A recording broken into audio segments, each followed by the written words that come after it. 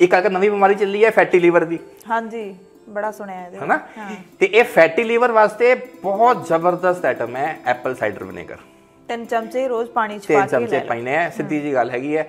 ਇੱਕ ਤੁਹਾਡਾ ਫੈਟ ਨੂੰ ਸਾੜ ਦੇਗਾ ਐਪਲ ਸਾਈਡਰ ਵਿਨੇਗਰ ਅੱਛਾ ਇਹ ਹੁਣ ਸਾੜਦਾ ਕਿਸ ਤਰ੍ਹਾਂ? ਤੁਹਾਨੂੰ ਸਮਝਾਇਆ ਕਿ ਇੱਕ ਤਾਂ ਇਹ ਜਿਹੜਾ ਸਟਮਕ ਦਾ ਜਿਹੜਾ ਤੇਜ਼ਾਬ ਹੈ ਉਹਨੂੰ ਸਟਰੋਂਗ ਕਰਦਾ ਹੈ। ਨੰਬਰ 2 ਸਾਡੀਆਂ ਆਂਤੜਾਂ ਦੇ ਵਿੱਚ ਸਾਡੀਆਂ ਆਂਤੜਾਂ ਵਿੱਚ ਜਿੱਥੇ ਸਾਡੇ ਵਿਟਾਮਿਨ ਖਿੱਚੇ ਜਾਂਦੇ ਆ ਅੰਦਰ ਸਾਡੀਆਂ ਆਂਤੜਾਂ ਦੇ ਵਿੱਚ ਸੜਨ ਨੈਚੁਰਲ ਪੈਦਾ ਹੁੰਦੀ ਹੈ। ਠੀਕ ਨੈਚੁਰਲੀ ਵੀ ਹੁੰਦੀ ਹੈ। ਹਾਂ। ਠੀਕ ਹੈ ਨਾ?